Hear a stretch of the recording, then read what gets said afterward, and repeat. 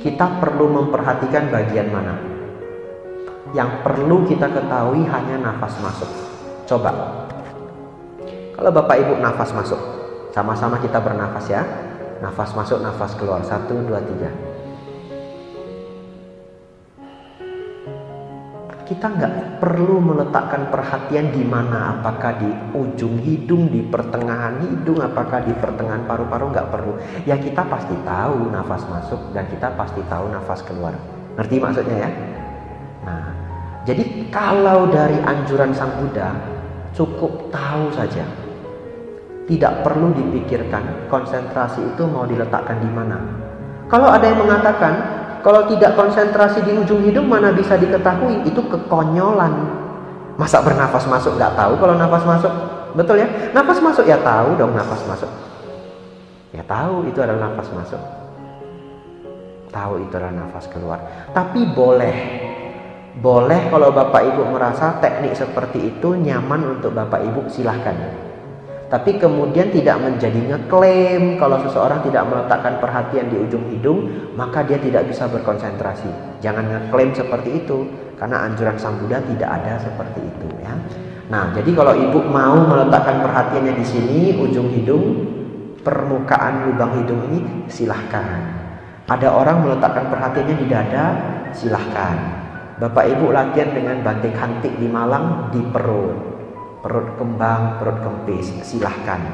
Saya kembali mengikuti anjuran Sang Buddha. Tahu nafas masuk, tahu nafas keluar. Nah, jadi nanti pelan-pelan perhatikan nafas. Pasti kita akan tahu nafas masuk, nafas keluar. Hanya seringnya itu pikiran kabur. Pikiran masih suka main-main, terganggu oleh pemikiran dan imajinasi. Jadi sesungguhnya ketika kita tidak menyadari nafas masuk atau nafas keluar, itu karena terganggu oleh liarnya pikiran. Tapi bukan berarti kita tidak punya kemampuan untuk mengetahui nafas masuk, nafas keluar. Kalau nanti ada orang yang bante, kalau saya bernafas saya beneran nggak bisa bedain itu nafas masuk atau nafas keluar. Ah, berarti sarafnya rusak ya. Saraf untuk merasakan nafasnya itu ada yang rusak ya.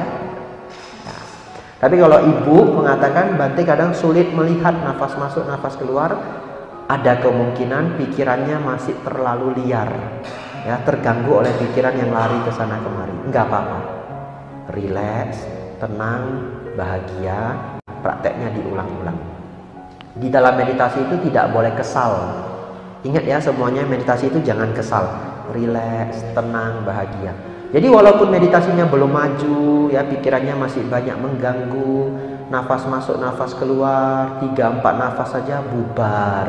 Tarik lagi, nafas masuk, nafas keluar, tiga empat nafas bubar, nggak apa-apa.